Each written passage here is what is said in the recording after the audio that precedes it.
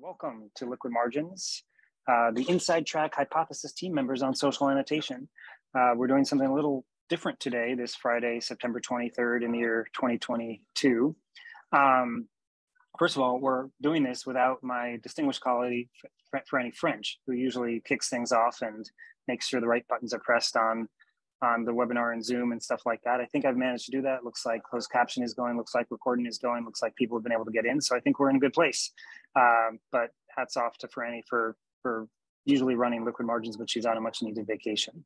Um, the other thing that we're doing really differently today is we normally talk to practitioners of social annotation out there in the world at schools um, that we work with um, to hear their stories about how they're using hypothesis in the classroom. And this uh, liquid margins are sort of taking an internal look um, and having an internal conversation with our own colleagues. Um, but one of the really cool things about Hypothesis is that I think almost every employee uh, at the company kind of blurs the line between being on the sort of vendor side of things uh, or the school side of things. Uh, everybody that we're talking to today has a background and has worked at a college or a high school or a university. Um, and that's true about almost, I think, actually everybody at um, in the success and sale and the success and support teams at Hypothesis, which is something I'm very proud of. We've hired a lot of former educators, um, and I think that's uh, that's been awesome for building out a really great team. Um, but it also enables us to really speak authentically with the folks that we're working with uh, and collaborate deeply. Um, so you'll get to meet some of those folks today. Um, I also think it's important to uh, to see the people behind the technology, right? Uh, a lot of us use tools and we might forget that, uh, you know, human beings built those tools. Um, just as sometimes the people, the human beings that are building tools forget there's human beings on the other side. So these are the human, human beings of hypothesis uh, today that we're going to be sharing. And I'm, I'm excited to have that, that conversation. Um, finally, I'm really excited to be able to showcase some of the awesome people that I get to work with at Hypothesis. I'm really thrilled about my teammates as part of what keeps me at Hypothesis and it's not a bad advertisement for potential customers of Hypothesis to be like, these are the awesome people you get to work with. Um, they have really interesting backgrounds and they have really interesting things to say. So that's what we're here to do. The Inside Track Hypothesis team members on social annotation. Again, my name is, I don't think I introduced myself, so I'll reintroduce, I'll introduce myself as I'm Jeremy Dean, Vice President of Education at Hypothesis. Uh, I am a former educator, uh, high school English teacher, um, English uh, grad student, and, and instructor at the college level, um, practitioner of social annotation in the classroom before going to work for a social annotation tool called Genius and then coming to Hypothesis. So I share some of my journey here because it has a kindred uh, track to those that are here. And I'll introduce them and then we'll jump into the conversation. So I'm here with Christy DeCarolis, who's a customer success manager at Hypothesis, maybe a month into the job or so, something like that. Um, one of the great, well, I'm not, I'm not going to steal her thunder. Actually, I was about to tell her story for her. I'm not going to do that. Um, but she has worked at Rutgers, uh, and she's also, I believe, taught high school history. Is that right, Christy? Yep, that is ever... Okay. So Christy's here with us today, and then there's Chris Diaz, uh, who's a customer support engineer at Hypothesis, just a couple weeks in on the job. Um, and uh, he comes to us from Northwestern, uh, where he was um, where he was a librarian. And then Suzanne Miller, uh, who is also a customer success manager, is with us today. And uh, she has worked in customer success at, at, other companies, but she also taught high school English. Um, I have a sweet spot for high school English teachers because I was one myself. I think we have a few on staff, and anytime I see that on a resume, I'm like, oh yeah, we should definitely move that one along. And this one we moved along um, all the way to uh, hiring her, and she's uh, with us today for this conversation. So um, I'm going to try to shut myself up and jump in to hear more about you guys. And so going in this order, I'd love for each of you just to share a little bit about your career journey. Um, I know none of you started in ed tech, and here we are, I guess, in ed tech. You know, we could question whether we're in ed tech, but I think on, from some perspective, we're all in ed tech on the industry side right now. Um, none of you started there. How did you get here? Christy.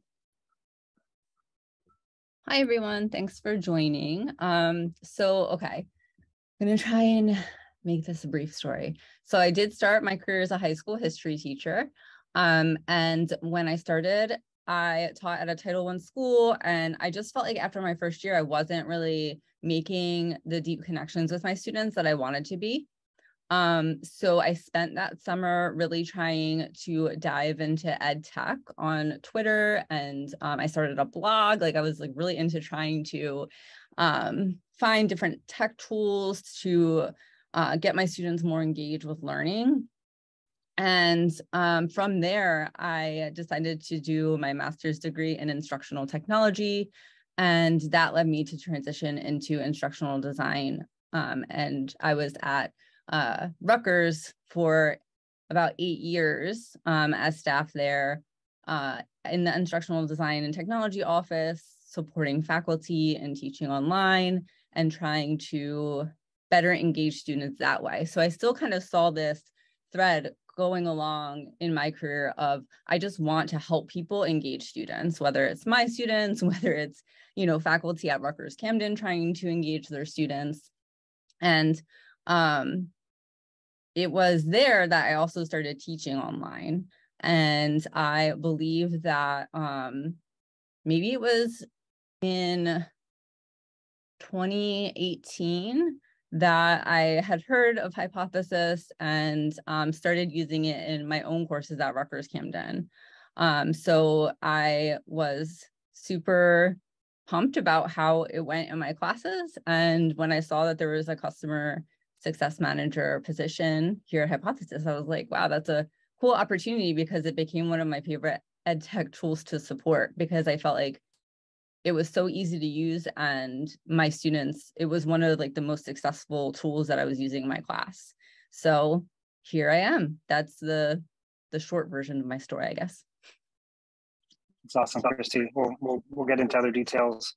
I will just say i've been on a couple workshops with christy when she's presenting to a school and it, it gave me goosebumps the first time when she sort of introduced herself and she's like I used to be an instructional designer at a school that works with Hypothesis, and now I'm working as customer success manager with you, instructional designers and uh, teachers that uh, that are using Hypothesis. So that's awesome.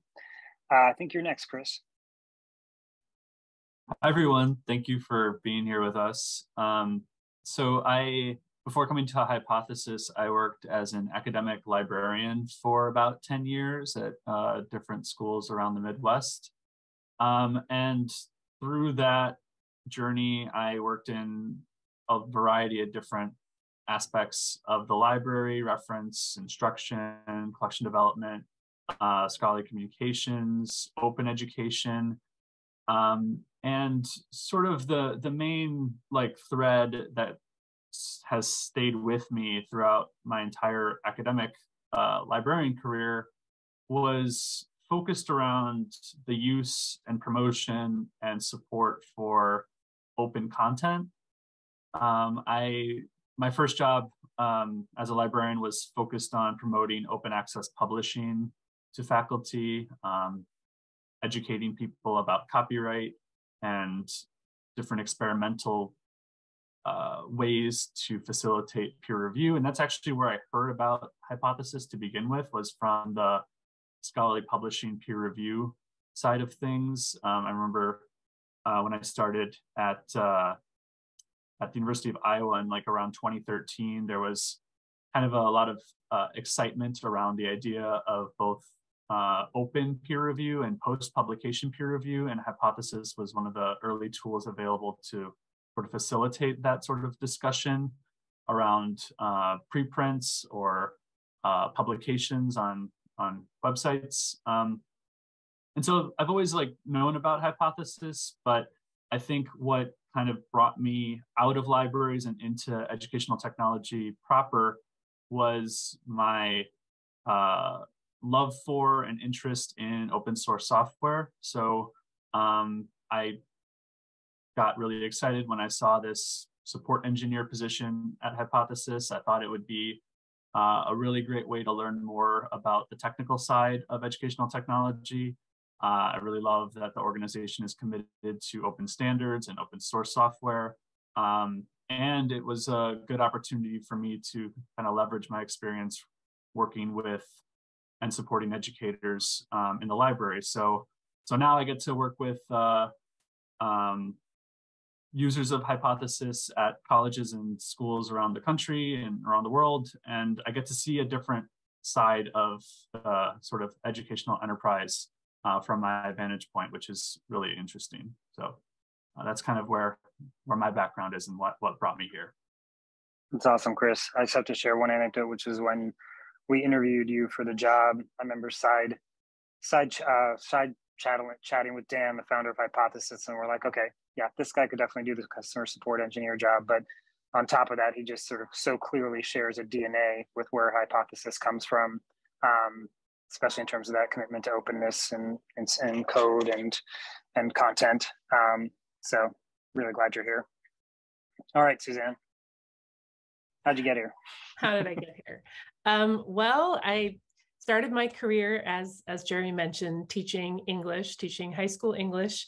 Um, actually, kind of bookended my my 24 career, 24 year career in um, uh, public education, both in Florida and now um, here in North Carolina. And so, uh, played a few other roles in between, um, but uh, my my last uh, my last few years were teaching high school English before uh, I came to the other side of the table, um, mainly uh, as a customer success manager, but mainly because um, I was a huge believer in engaging uh, with digital content with my students, having them think critically uh, through what they were reading. And so uh, I found my, myself embracing multiple tools that did just that. Um, and so um, this kind of answers that question that's probably going to come later about my commitment to hypothesis, um, but it very much aligns um, with that, you know, I guess philosophy that, uh, you know, that digital tools, ed tech, um, K-12, higher education, that uh, you want students and teachers taking more of an active part um, in the education, not so much um, being passive um, in, in that process. And so hypothesis stands out in that area as well as the other um, tools that I've supported over the years. You can name them. It's okay. We're not, this isn't a, you know, uh, and the other great thing, of course, is that you came, you're, you're part of the family because Michael, our uh, customer support engineer, uh, was working at Actively Learn when you were a customer of Actively Learn and recruited you to Actively Learn uh, because you were such a great advocate of, of the, for the tool and for the not just the tool but the pedagogy surrounding the tool. Um, and uh, then he came here, and then uh, you followed him here a few uh, years later, and we're very very happy for it. So I think we are. You guys bled a little. This is the problem with sharing the questions beforehand. That people start to cheat and start to answer the second question which is, uh, I believe, what Suzanne and uh, and Chris have done. I mean, Chris, your through line for you is openness, right? In terms of your career. My next question was, what's the through line in that journey, right? I've switched careers like you guys have, um, but I feel like there's a consistency across teaching um, and working in technology for me. Uh, Chris's was openness. Um, you can elaborate if you want. Suzanne's, yours was engagement, would you say, or active active learning, right? It's kind of a through line yeah. for you and yeah. and critical thinking in that. Active learning and critical thinking. That's great. And I think mine is probably engagement. Just I was always trying to get students engaged. Um, and now I'm still trying to get students engaged and keep students engaged, but you know, from the trying to the tool side of it. Chrissy, did you get to talk a little bit about the through line of your career yet? Yeah, I definitely jumped ahead on that and I stole okay. I stole your engagement. No, okay. I, right. because right. that is really what I was trying to do um, when I was teaching high school and um, in supporting faculty and in teaching college classes as well. It's just figuring out way how, ways to keep students engaged and make them um, to bounce off of Suzanne active uh, participants in the classroom. Yeah, and I think for me, there's also like one step further, which I think you guys are saying too, which is getting getting folks excited. I mean, I was a nerd, and, and, and throughout my academic career, I, I loved learning. Um, I got excited about it, and I think when I became an educator, that was sort of one of the things you know, to be to be engaged, to be active, but also just to be excited, to be passionate about it. Um, something that's a through line for me. Um, So I also think you guys may have jumped ahead on this one, but let's go backwards a little bit and just hear about, you know, with Suzanne first this time, when did you first come across the, the idea of social annotation? It doesn't have to be in the hypothesis context, but it could be hypothesis itself. Tell us a little bit about that origin story of first encountering this type of technology. Um, I would say, uh, as I was um, exploring not through the digital arena, but through just uh, best practice in learning and education. Obviously, close reading became a huge thing, um, you know, sort of midway through my career. And so I embraced a lot of uh, close reading practices. I kind of uh, considered myself on the cutting edge of what those practices would be. And the idea that, uh, you know, a digital tool could sort of simplify that um, you know, in my mind, make it more efficient um, was something that I completely embraced um, when I discovered the first few tools uh, that I used, including Actively Learn, um, with with social annotation. So, uh, you know, and I think it very much mirrored the, you know, the increase in the use of social media and some other stuff. And I think that that um, kind of dovetailed nicely with my my classroom practice, which was nice. Yeah, I'll just briefly share my. I, had a very similar story, right? I'd always been talking about annotation to students, encouraging annotation, you know, in, in analog formats, and I started to explore digital technologies and try to bring them into the classroom, you know, to be a hip teacher or whatever, right? A lot of stuff I used, a lot of stuff I saw colleagues using, I was like, I don't know if this is really working when I first started getting introduced, interested in using digital tools in the classroom, people were using this platform called Second Life, which is sort of like a you know alternate world or something like that. Where people have avatars and they're trying to teach composition, you know, through Second Life. And I was like, I don't know, I don't know if I can get into this. And then I saw social annotation tool, and I was like, that makes sense to me, right? That is a, a, a skill and practice that is not particularly new. So you know, been around for a while. I've been practicing it personally, encouraging my students to, but this is a new context, maybe makes it more efficient, you know, makes it more multimedia. I'm not a drawer or an illustrator, right? So, but with bringing in images into, you know, annotations, I suddenly can, you know, do do more in my annotations than I can in an analog context. So, um, yeah, very similar pathway to you. Uh, Chris, social annotation. I know we were just talking the other day about, you know, social annotation and scholarly publishing. I don't know, you know, when you first came across this concept? I'd be interested to hear. Yeah, yeah. So it, it, it first came. I first learned about it uh, around sort of disrupting the double-blind peer review process and kind of making it more of a, an open conversation, trying to um, tie into other elements and like movements in open science and replication and open sharing of data, trying to just open up the conversation a bit more uh, in like a scholarly publishing context. Um, but uh, you know, so that was earlier in my career. Uh, more recently at Northwestern, um, I was uh, really involved in the design and launch of an open educational resources program, and so that brought me uh, into a lot of conversations around how to uh, sort of leverage these web publications, these open publications with other sorts of learning tools. And I remember um, a couple years ago, I think I, I, was like on the other side of like a presentation that Jeremy gave at Northwestern about demoing uh, hypothesis. And, and, it was like, I was brought into that conversation because there was a lot of uh, potential there for um, connecting our OER authors and OER users on campus with hypothesis, and they're also kind of played in with uh, sort of moved movement towards like flipped classrooms and asynchronous communication, and obviously with the the pandemic and online learning, um, it just seemed to make a lot of sense for for people to start using that at Northwestern um, more more recently. So um, so yeah, it was kind of top of mind towards the later parts of my time at Northwestern, um, mostly from like an educational perspective rather than uh, scholarly publishing. Cool. I think I want to hear from Christy and then maybe pause and try to connect some dots here between, you know, Chris's background is pretty different from Suzanne and Christy's, right? Uh, not a classroom educator, but working at an academic institution, thinking a lot about publishing.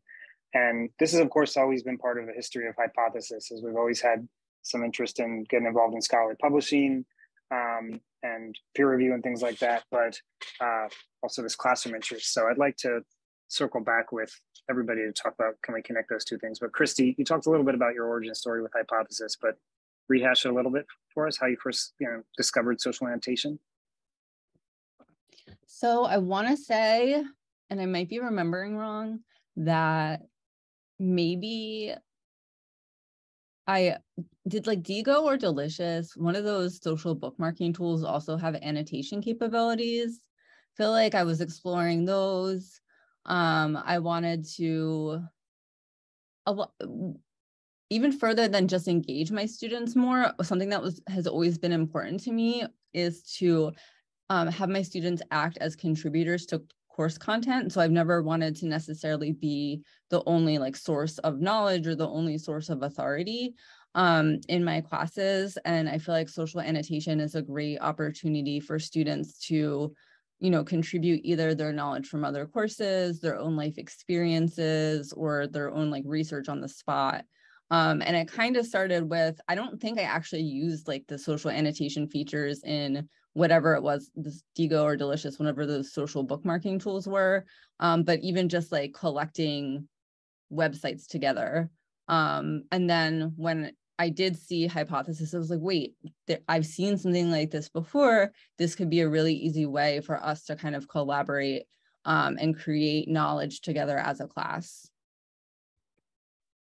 I think that that starts to help to make the connection, right? Between, I mean, Chris, do you, do you see a connection there between opening up scholarly production uh, to be more horizontal um, with the sort of classroom horizontality of decentering the teacher that Christy's talking about?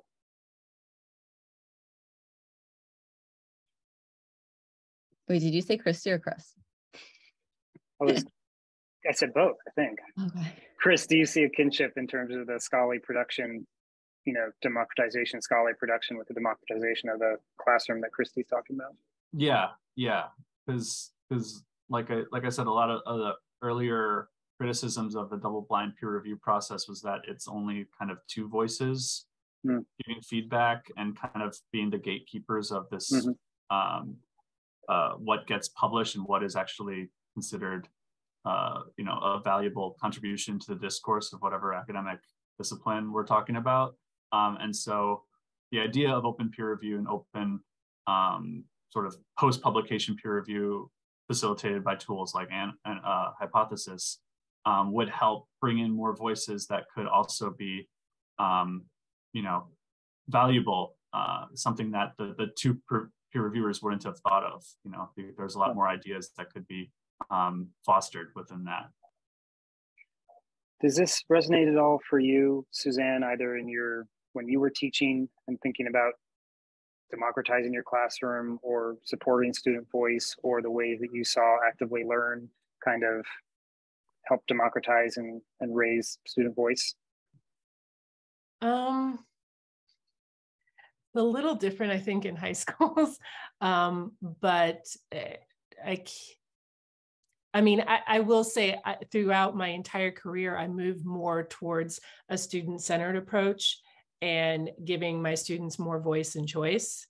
Um, so obviously, social annotation aligned beautifully with that goal um, that I had set for myself.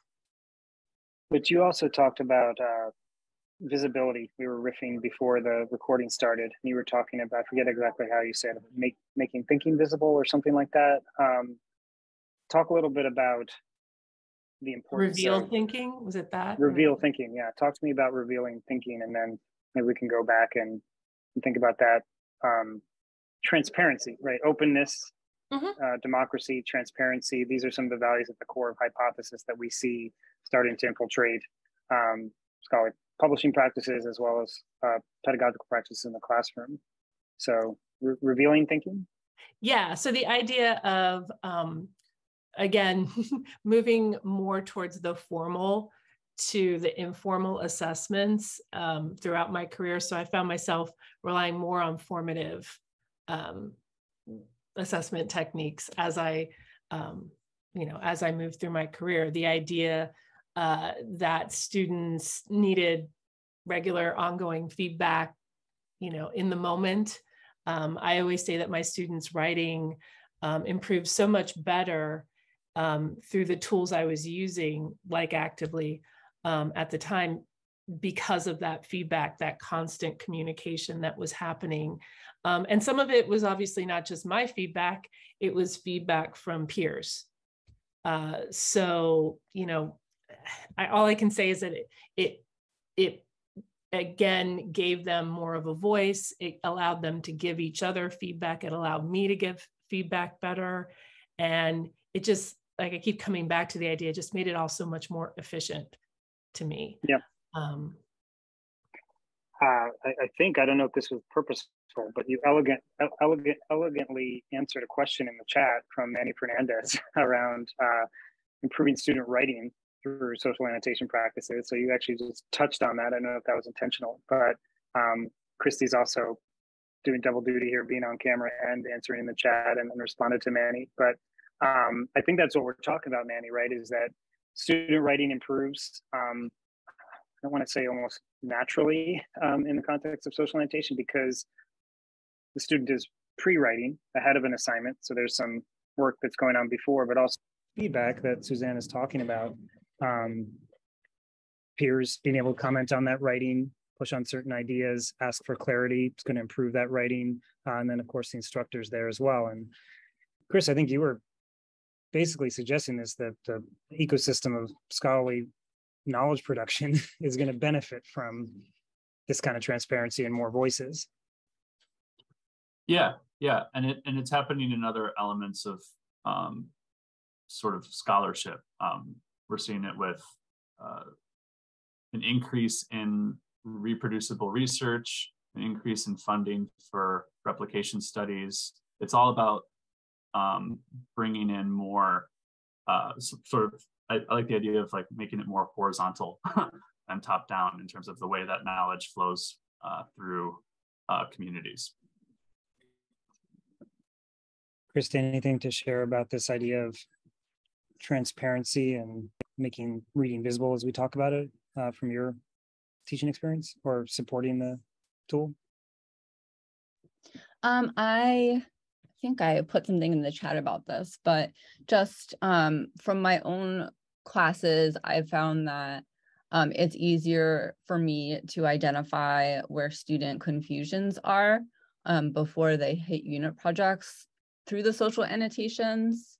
Um, and I have a ton of formative assessments in my class. Like every week, students are handing in some kind of like reading reflection or um, like something like that. But sometimes those aren't targeted towards you know everything that the reading is hitting so social annotation kind of gives the students a more open-ended way to address the reading um, and really helps me hone in on you know where is their interest where is their um, confusions uh, what do i need to address before you know we're moving on to projects and things like that thanks christy. Apologies guys. My my earbuds died so i've had to relocate to a phone booth at my co-working space. Um, that's the change of scenery here. Um, awesome. Well let's talk a little bit about how you guys you know uh, first discovered this job opportunity to come work here and what really excited you most about when you saw that opportunity and you and you went after it. what were you excited about in terms of coming to hypothesis? And start with you christy. I know we've touched on this a little bit but when we chop this up for distribution it'll all seem uh, more natural so i think that okay so like i said i was at rutgers and i was at rutgers in 2018 um, when I started using Hypothesis, and I think at that point I connected with Jeremy back then to start to start using Hypothesis at Rutgers. So I believe that Jeremy Jeremy and I were connected on LinkedIn, and possibly I saw the position that way. So like maybe Jeremy shared it, and I was just kind of scrolling along as we do, and um, you know, happened upon the customer success manager position. And it really like I it sounds almost like fake to me, like how much I was like, oh, this is a tool that I actually like really love supporting as um an instructional designer. You know, we did a lot of uh, ed tech, like technical support as instructional designers. Um, it was one of the easiest tools to support, which is, you know, never a bad thing. Um, and I just saw how it worked with faculty. And I know that I loved using it in my own courses, and my students had really positive feedback about it. Um, so when I saw that, it was just like, here's a great opportunity to, you know, work spreading a tool that has really positively impacted my own teaching. And that just seemed like a really cool opportunity. It doesn't come along that often. Um, so that is what led me to apply. And it, it's again, like it just sounds like how could I be that like corny about it, but it's true. um, I bet when you read that job description, you were like, yep, yep, can do that, can do that, can do that. That is me. Yes. Uh, I'm going to do it a different order this time. Suzanne, uh, I know you sort of heard about it through Michael, but tell me about what excited you about coming to Hypothesis. You're going to have to bear with me. I'm trying to answer Sarah in the chat. I don't know. Are we able to go off script a little bit to address Sarah? Sure. Before she heads. Yeah. Go for it. Um, Always just, attentive to the users. I well, it just she was talking about bridging that gap between how I guess vocal her students were in um, annotating online, and then bridging that to in class discussion. And what I was going to share, I was in the process of typing actually, uh, was the the idea that I always tried to incentivize my students with payoffs for doing high quality annotation. Um, and so uh, oftentimes the play, the payoffs were we would have Socratic seminars, um, debates in class, uh, you know, over, over, obviously important questions, essential questions, if you will. Um, and so, you know, I think it had a lot to do with the text selection, obviously, showing lots of different um, opinions and perspectives in what students were writing or reading and then um, telling them that they could use those uh, to reference during those in-class discussions that were a little more formalized. You know what I mean? The idea of like a Socratic seminar is a little more formal than just a small group discussion, um, or having you know having a class debate. You know where there were certain sides. I, I used to always say that I wouldn't tell my students which side they were going to be on. So they had to be prepared for all of them. Um, and so I don't know, that's just to me, they saw a, a really deep connection to being prepared, having those high quality annotations and using them for those in class, like, like I said, sort of formal discussion um, opportunities. So I don't know if that answers Sarah, but I wanted to do that before she had. It certainly was a valiant attempt. I think she may have signed off. Uh, oh, she did. okay. Make sure that we will connect with Sarah about those questions. Um, not particularly the topic of this episode. Yeah. Um, we have lots of different programming and uh, certainly lots of people in house that can speak to uh, what do you do after the students have annotated? Um, so yeah. somebody will reach out to Sarah and continue that conversation, and yeah. maybe we can have a Liquid Margins episode about that. Um, but I'll, I'll talk about how I came to hypothesis too. Sure. All right. You keep us on track. Yeah. Thanks. Yes. Um, you you you mentioned you kind of gave the story of talking about Michael works in support. Um, I've had a connection with him for the last I would say five or six, maybe more years. Um, and he's the first person that kind of encouraged me to take the leap into ed tech and obviously we've stayed in touch and that's how I sort of i found my way here to hypothesis. And the idea is that hypothesis like i said very much aligns with my educational philosophy uh, about having or making making it so students can engage and think critically through their reading and have a little more voice and choice. Um, and so yeah uh, it it sort of was a perfect marriage of you know my past experience um, to today. It's awesome. Chris, we may have recovered, we, we may have covered this already. Do you feel like you've covered your, how, you know, what excited you about coming here? Uh, yeah, I can I can elaborate a little bit more. Um, I uh, I you know I worked as a librarian for ten years, and basically having moved around the, the library in different departments, um, sort of the there wasn't a lot of like the only place to move uh, if I stayed in libraries was to go into like management, and I wasn't really interested. I don't think I'm like a good, people manager. I just really wanted to like work on projects and learn more. Uh, at the time, I really wanted and still do really want to just focus on this new sort of path, focusing on technology.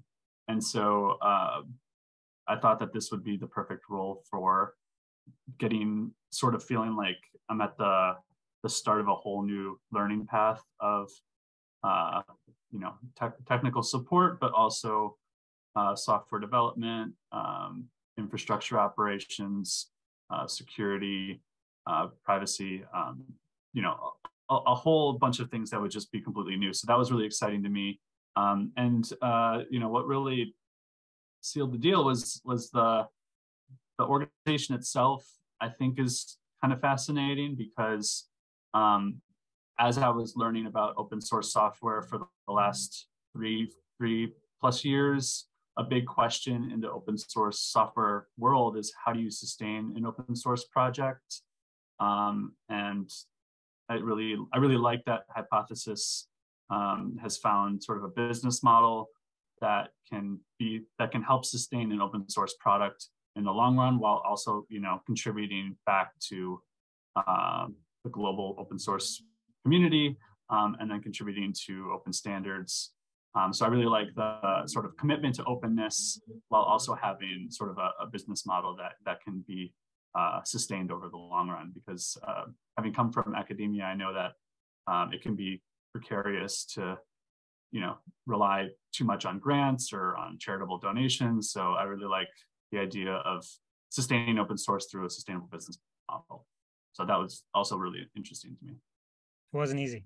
Mm-hmm. it took a while yeah. to figure it out. Um, all right, I want to get a soundbite in um, for posterity here. I'm going to ask each of you a question. It's off script, but I think you should be able to answer it. Uh, what does social annotation mean to you?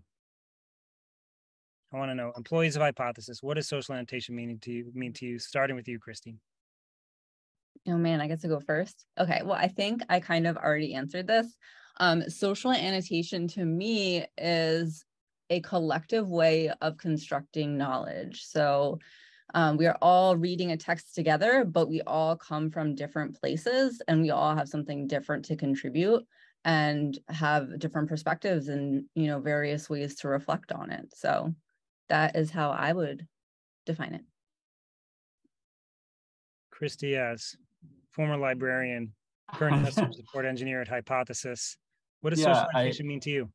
I don't have the best pithy answer to this, but I like the idea of um, adding depth to to text. Um, I like the idea of like adding different layers, you know, that social annotation can bring. So you have like the sort of the source that you're working from, but then you have a conversation layer on top of that, and then you have replies, and then you have tags, and it's just like it just creates a different sort of depth depth perception that uh, wouldn't really exist um, in any other context that I'm familiar with. So I think that there's a lot of potential and opportunity there that uh, is exciting.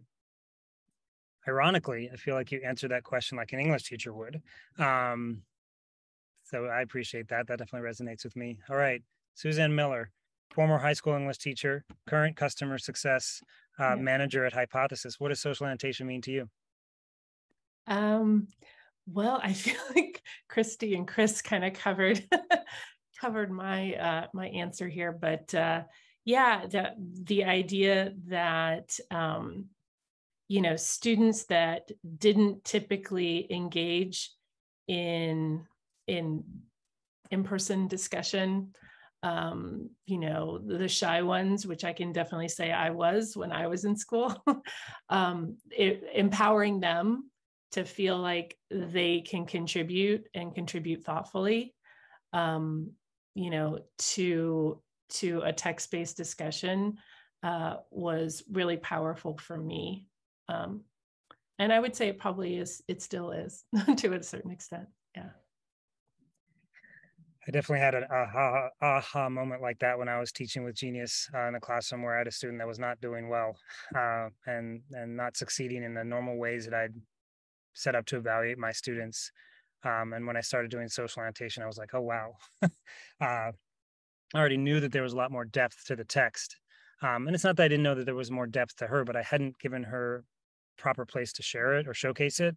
And suddenly I saw all this depth uh, come out of her um, in, in annotation that was uh, pretty awesome.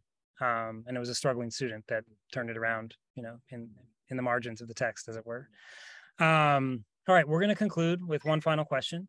Um, what excites you about the future, about education, about social annotation, about ed tech, about hypothesis? What's most exciting to you about the future? Going to go in reverse order, Suzanne. What are you most excited about in the future? for the future? Um, well, I'm as far as hypothesis, I obviously think that there's um, so much more to explore. Um, uh, the idea of you know continuously evolving um, to to sort of meet the, meet the needs of educators and students. Um, you know that's that's huge for me. Um, always feeling like you're on the cutting edge. Um, and just in ed tech i think something that excites me um, a great deal is the idea of um, platforms and programs and tools like like hypothesis uh, becoming better because of the feedback and input from educators i love that and i think you'll find that at Hypothesis, that feedback loop is pretty tight. we listen to our users, students, teachers, administrators, uh, and really bring that feedback directly to our product and engineering teams. And as a success manager and as a support engineer, you're going to be a conduit for that. So you're in a good place to hear that feedback. Chris, what is the future? Uh, two things. Um, it's really exciting to see a lot of new partners signing on to use uh, Hypothesis. So the company is, is growing and expanding its uh, user base, which is uh, great. But and there's also been um, a lot of uh, interesting new integrations with things like JSTOR and VitalSource. That's really exciting. Um, more longer term, um, you know, I, I, am familiar with some some movement uh, in the web browser community to add uh, native um, annotation capabilities sort of built into Chromium, which is what a lot of web browsers are based on now. And so I think that there's a lot of potential to uh, see this sort of get formal support in sort of the web browser standards and, and uh, technologies. So I think that there, there's a lot of uh, exciting potential there that, that, that is uh, forthcoming. Christy. Well, I definitely echo everything that Suzanne and Chris said because those are all super exciting things. Um, I'm just excited to see more faculty react and learn how hypothesis can, you know, change their classroom without necessarily having to do a lot in in the the way they um, approach teaching. They don't have to change too much in that. You're giving readings already, and here's a different way that we can do these readings together. Um, and kind of trying to democratize that process a little bit more and make it less of a you know isolating process and more of a collaborative process um, and just i've you know worked with a lot of faculty that it's really exciting when you know they do it for the first time and um, it just seems to work really well and you know they get excited about what the students are saying in in the annotation. So i'm just excited to keep working with people and seeing that light bulb go off. I love it.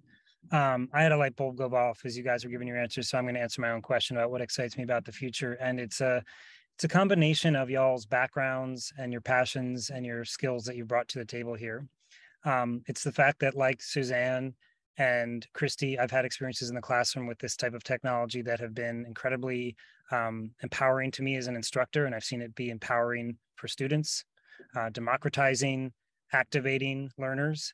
Um, and what Chris is tying into is kind of the, the bigger picture here, right? The way that this technology uh, is useful in other industries and other professions and in everyday life on the web. And it's that connection between the work we do as English teachers, Suzanne, and as history teachers, Christy, that we're always passionate. We want students to be thinking critically about text and thinking deeply and close reading and and collaborating. And the idea that that could jump out of the classroom and be part of how people start to interact and behave um, and relate to each other in everyday life on the internet, in other industries and professions, but also just in how they engage with the information and writing that's online um, this idea that it's a tool for teaching and learning that you can adopt for a classroom, um, but it's something that goes beyond the classroom ultimately. Um, and I feel like those of us that were drawn to education always wanted to believe or thought we were doing that work that was going to, we're not training people to take tests or write papers exactly. All of those things are means to a greater end that's supposed to help society. And one of the cool things is about hypothesis is that it's, it's actually doing that.